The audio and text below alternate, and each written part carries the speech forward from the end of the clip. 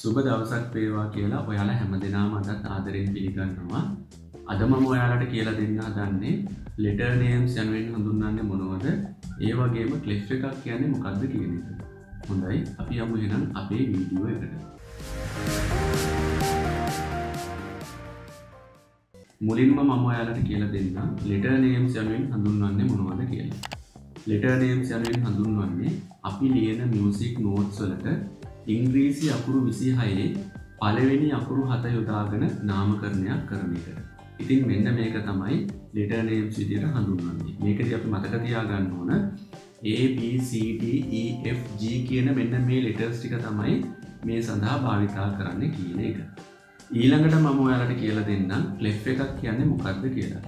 Left එකකට සිංහලෙන් අපි කියන්නේ තාරතා නීර්ණය කියලා. තාරතාවය කියලා කියන්නේ පිච් එකට. නීර්ණය කියලා කියන්නේ තීරණය කරන එකට. දැන්වලට තේරෙනවා ඇති. පිච් එක තීරණය කරන සංකේතයක් තමයි මේ කලේ එක කියලා කියන්න. මුලින්ම මම ඔයාලට කියලා දෙන්නම් ට්‍රෙබල් කලේ එක කියන්නේ මොකක්ද කියලා. මේකට ජීකලේ කියලත් කියනවා.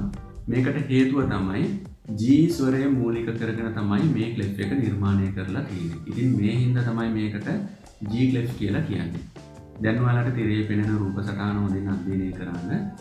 ස්ටේව් එකට ට්‍රබල් කලෙප් එක කියන සංකේතය යදුවට පස්සේ ලයින්ස් පහයි ස්පේසස් සතරයි නම් වෙන විදිිය. ඉතින් මෙන්න මේක ඔයාලා හොඳින් මතක තියාගන්න ඕනේ.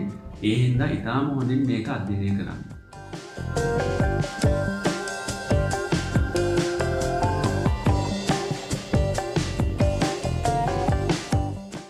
ඊළඟට මම ඔයාලට කියලා දෙන්නම්. ට්‍රෙබල් කලෙෆ් කියන සංකේතය යොදලා ලියන මියසික් නොටේෂන් මොනවගේ සංගීත බාණ්ඩවලටද ලියන්න කියන එක. මම එකෙන් කිහිපයක් කියල දෙන්නම්. Piccolo flute clarinet oboe saxophone trumpet horn violin මෙන්න මේ වගේ ඉන්සුමන්සෝට තමයි ට්‍රබල් කලේ එක යෝදලා මියසික් නොටේෂන්ස් ලියන්න. හොඳයි. ඊළඟට මම ඔයාලට කියලා දෙන්නම් බේස් කලේ එක පිළිබඳව. බේස් කලේ එකට Fලේ කියලා කියනවා. මේකට හේතුව තමයි F ස්වරය මූලික කරගෙන තමයි මේ කලේ එක නිර්මාණය කරලා තියන්නේ. ඉතින් මෙන්න මේ හින්ද තමයි මේකට Fලේ කියලා කියන්නේ. දැන් තිරේ පෙනෙන රූප සටහන ඔයාල හොඳින් අධ්‍යනය කරන්න. ඔයාලට පේනව ඇති බේස් කලේ එක ස්ටේව් එකට යොදපුහාම ලයින්ස් පහයි ස්පේසස් හතරයි නම් වෙන විදිිය. මෙන්න මේ ඔයාලා ඉතාම හොඳින් අධ්‍යනය කරලා මේ නෝට්ස් නම් වෙන විදිිය හොඳින් මතක තියාගන්න ඕන.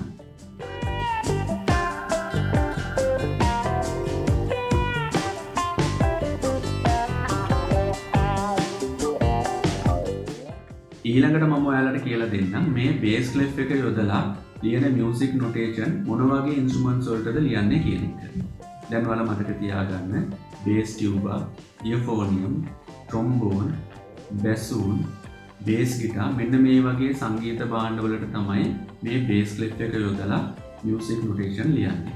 මම හිතනවා මගේ වීඩියෝ එක වෙස්ටන් මියසික් මුලින්ම ඉගෙනගන්න ඔයාලාට ඉතාම වැදගත් වෙන්න ඇති කියලා.